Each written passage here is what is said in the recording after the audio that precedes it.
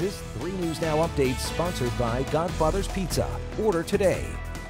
I'm Courtney Johns with 3 News Now. Here's a look at what's happening now. You can expect a lot of traffic on and near UNO campus today. Part of that will be for the start of a major change in the area near 69th and Pine.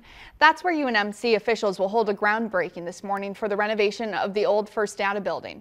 That building will become the new home of the Munroe-Meyer Institute project, set to be complete by the fall of next year, and it will double the size of the current institute building. And you can expect much more traffic as thousands of students head to UNO for the first day of class. The university tweeted out a message telling students to give themselves extra time to get to class and to help ease traffic tie-ups by parking at Pacific Street Garage. And on 3 News Now, meteorologist Mark Stitz. Widespread showers and thunderstorms rolled through the area this morning, but the worst of it's over by lunchtime and just a couple spotty rain showers to dodge in the afternoon. But we should see some late day sunshine helping to get us to about 76 for the afternoon and still a bit muggy out there today as well. But overnight tonight, lower humidity arrives as our skies clear very quickly.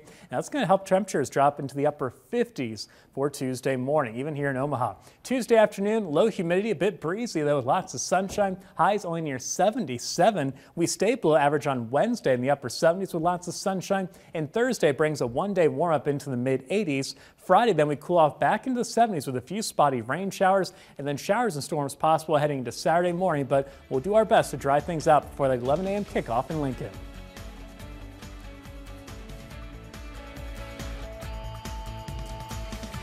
Want something spicy? Sliced jalapeno peppers, cream cheese, beef, bacon, and real cheddar and mozzarella cheese is my jalapeno papa pie. Add a one topping pizza and cinnamon monkey bread for a real feast. Godfather's Pizza. Do it.